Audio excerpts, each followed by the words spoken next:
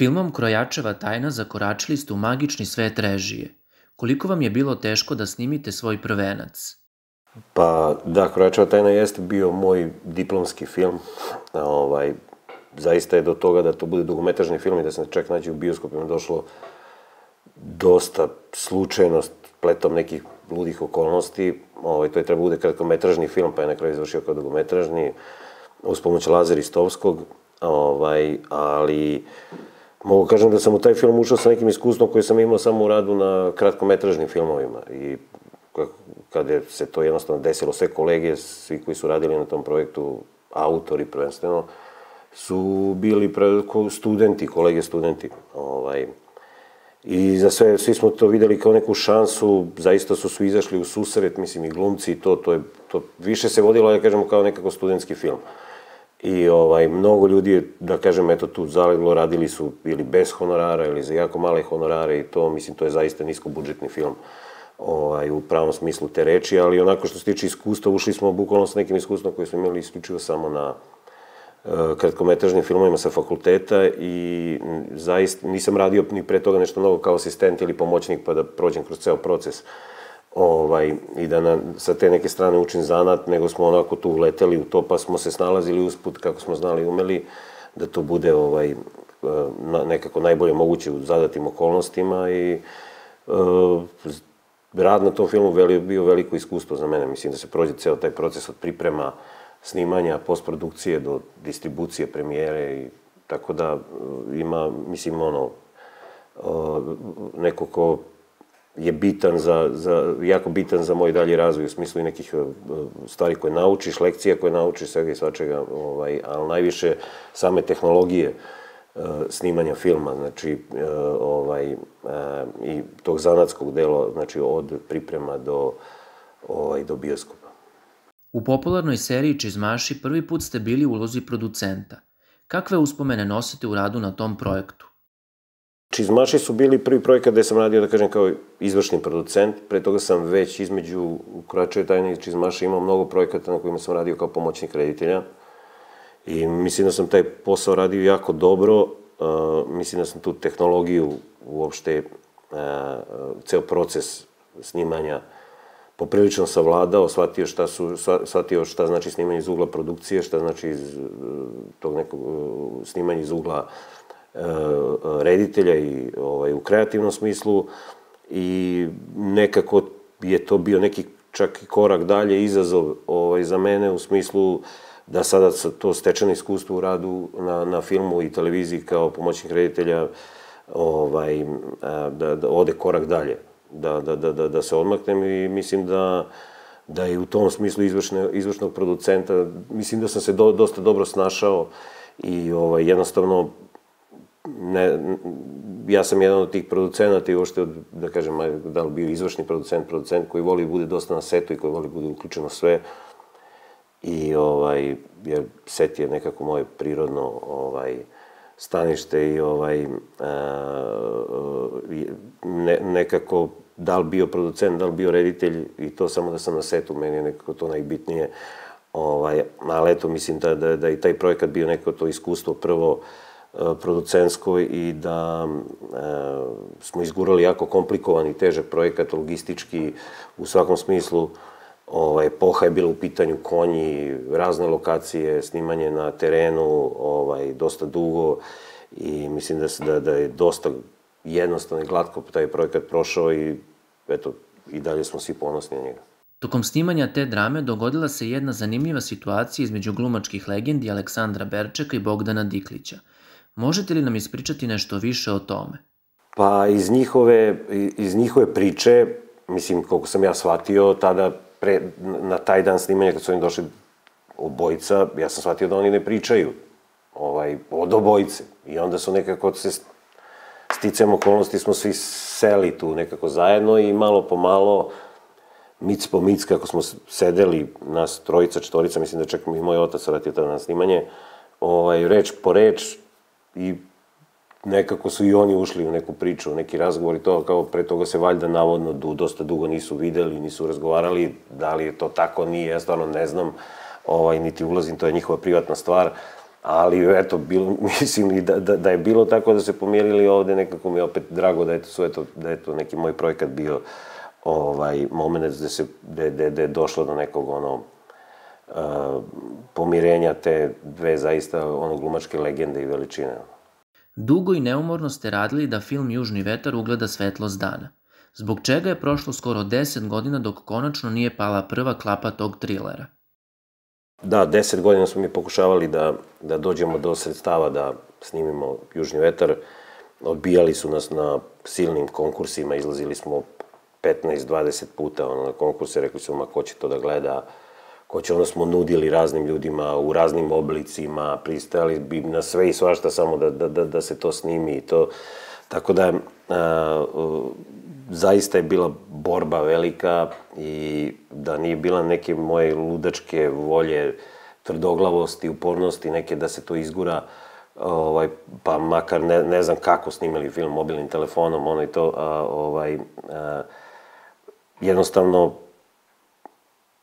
spletom, ne, mislim, ne znam, nekako mislim da je moralo pre ili kasnije da se desi, da, da, da se taj film snimi. Jednostavno je bilo toliko zaista i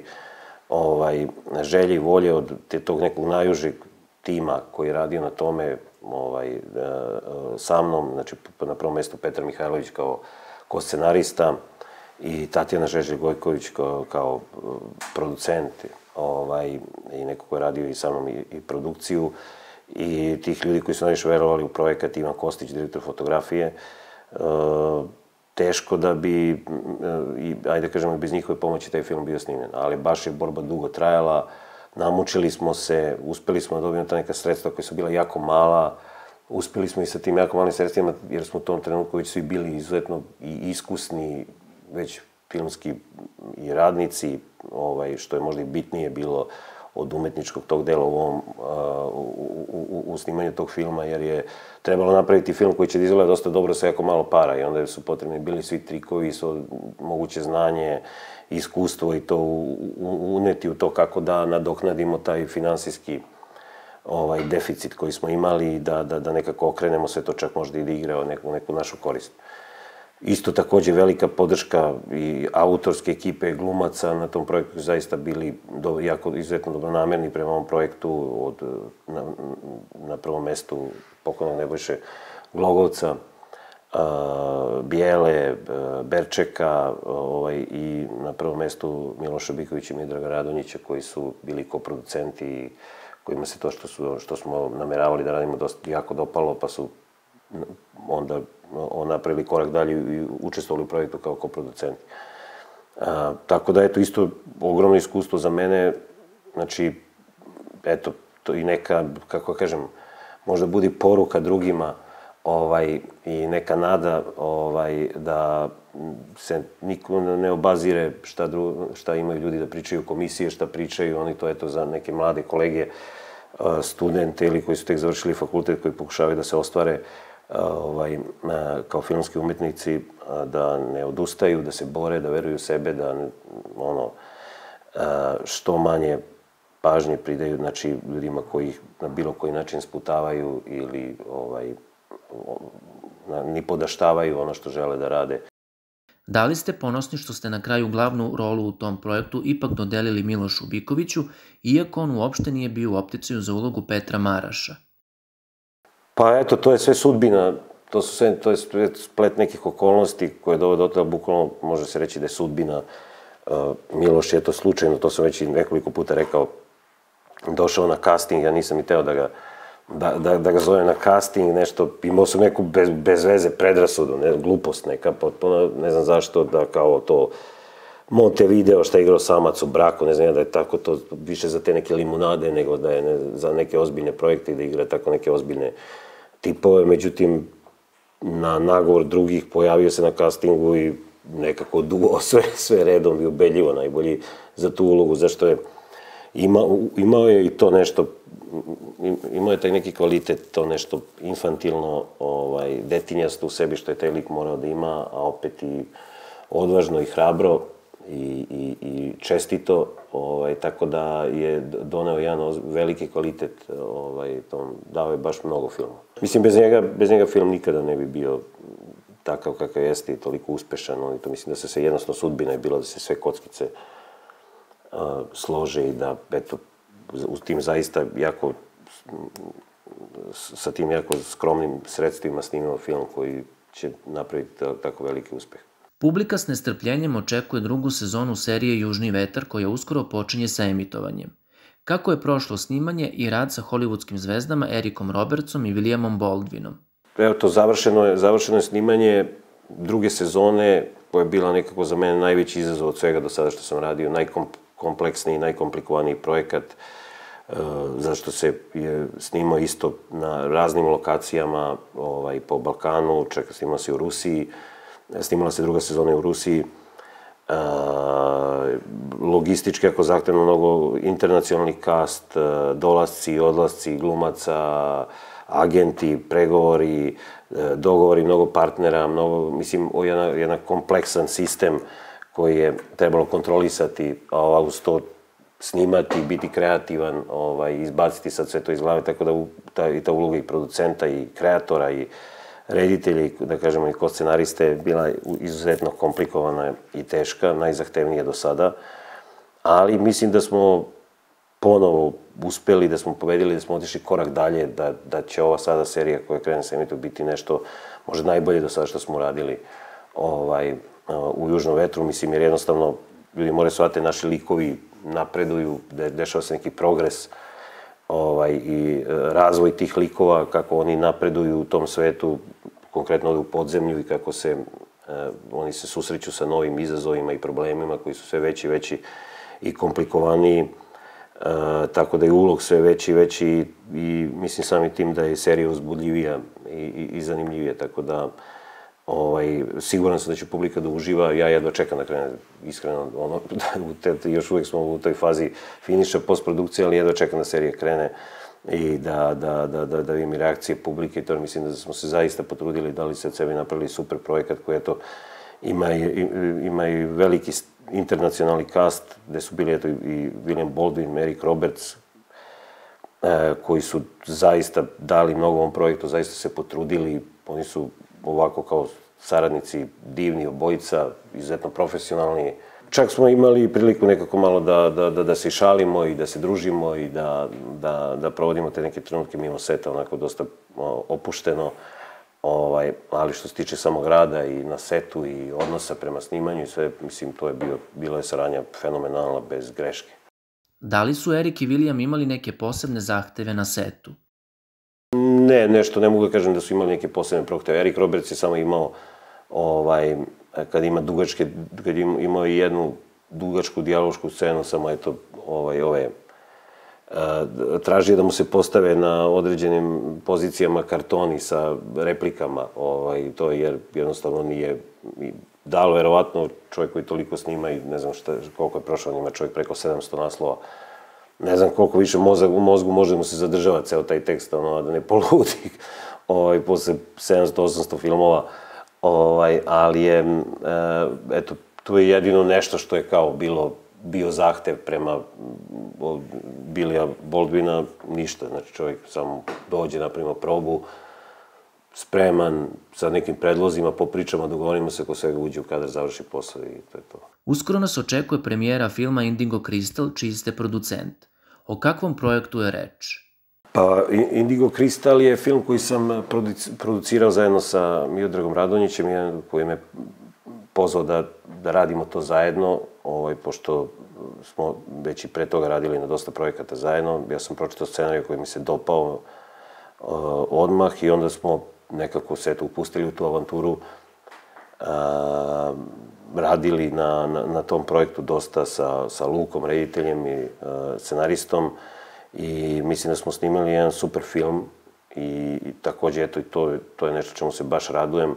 Isto sa jako malim sredstvima, ali sa puno srca i onako smo hrabro ušli u to i uspeli da izguramo a, i tako sam ponosan na nekak, i posebno na Mićka, ovaj, zbog celog tog poduhvata, i, a najviše zbog toga što je rezultiralo divnim filmom i jedva čekam i premijeru tog filma koja će se desiti u, u, u martu. Uh, i jedva čekam reakcije publike, mislim da smo zaista potrudili, da smo napravili super film i eto, jedva čekamo svi da ga podelimo sa publikom i da uh, i čujemo reakcije da, da, da je nekako eto dobije taj svoj bioskopski život i ovaj, da, da, da, da ga pustimo među ljude, da podelimo sa njima to na čemu smo radili već, eto, ima godinu dana i više. Omiljeni film? Uf, ima ih mnogo. Sad da izdvojim jedan je baš nezahvalno teško, ali ajde da kažem, kineska četvrta. Film za koji ste rekli na što sam potrošio sat i po vremena života? Pa, ne znam, ima ih mnogo, ali ne, obično ne dozvolim da mi potroši sat i po vremena života, već prekinem na... Mislim da je Godar u prvih pet minuta kaže, ako mi se film ne dopadne, prekidam da gledam, da, da, da mislim da je on imao taj ovaj, pristup, jer kao zašto bi sad još sat i po vremena ono, sedeo i gledao nešto što mi je odmah jasno da, da nije nešto što mi se gleda. Za koji film ili seriju ste dobili najmanje para? Ajde da kažemo da, da je Južni vetar. Ja nisam mnogo dobijao novca na tim konkursima i od tih fondova. Jako malo, samo nekoliko puta u, za 20 godina. E, tako da, svakako je Južni vetar ovaj prvi deo. Vaš omiljeni projekat, jedan koji vam je najmanje drag do sada? Pa svakako da mi je omiljeni projekat Južni vetar, ovaj, kao nešto, posebno prvi deo filma koji je nastao tako kao nešto što u što je uloženo mnogo, mnogo truda, ljubavi, energije, mislim, borbe, volje, truda i strajnosti. Tako da mi to definitivno no, naj, najomiljeniji projekat, a e, ne mogu da kažem da sam radio nešto što mi je najmanje ovaj, omiljeno ili što mi, što, što, mislim da sam se trudio do sada, a mislim da ću tako i u buduće da radim isključivo samo projekte e, u koje verujem. Prvi susret sa glumačkom legendom. Da kažemo baš legendom, legendom, možda čak na čizmašima. Susret, susret, da kažemo Berček, Diklić, mislim, to su sve su glumačke legende u pravom smislu te reči. Radio sam i pre toga sa velikim glumcima i poznatim glumcima, popularnim glumcima, ali da kažem, ovo su baš legende. Najzanimljivija situacija koju pamtite sa snimanja neke serije ili filma? Ne, ne, neka stvar koju ću pamtiti je, na primjer, eto, postupak Nebojše Glogovca koji je bio, eto, jedna, da, da kažemo, jedna lekcija, jedna smernica za sve mlade glumce kako trebaju da se ponašaju i kada, kakav trebaju da imaju, mislim, odnos prema projektu, gde u jednom trenutku kad smo snimali poslednju scenu u Južnom vetru 1, e, imali smo kišu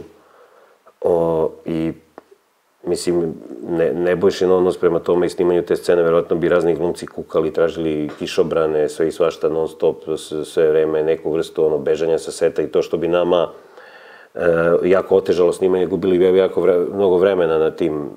odlacima, dolacima, sušenjem, sušenjima i ostalim procedurama za izlazak na kišu i ostalo. E, Nebojša ništa od toga nije tražio, on je ono, stajao na kiši, bio je, hoću kažem, bio je svestan toga što znači snimanje i bio je svestan toga da ako on bude izvoljevao i ako svojim primjerom bude dao i mlađim glumcima ovaj, primjer kako da se ponašaju te noći na, na, na setu, nikada ne bi snimili tu scenu, posebno ne bi snimili način na koji smo je snimili. Tako da je to ono, ovaj, jedan gest veliki, jednog velikog čoveka i glumca, ovaj, ne, ne zbog toga, mislim, zna, znamo šta je profesionalno i svi znamo kako, bi, kako se treba ponašati u tim situacijama, ali on je jednostavno e, bio svestan u kakvoj smo mi situaciji, produkcijski, u svakom, svakom smislu i verovao je u taj projekat, radio mu se taj projekat i bio je svestan da ako se bude radilo na neki način e, po, po pravilima, po PS-u, da, e, da to snimanje neće izaći na dobro, da nećemo uspeti da snimamo sve na način koji smo hteli, jednostavno je stajao tu, bio je tu bez ikakvih potreba, bez ikog, nikog nije ni dozvoljavao da priđe, niti da ga postave pitanje, da ga ogrne sa nečim, bio je tu rekao, ajde samo da snimamo, da snimamo ovaj, da bude dobro, a pusti kišu.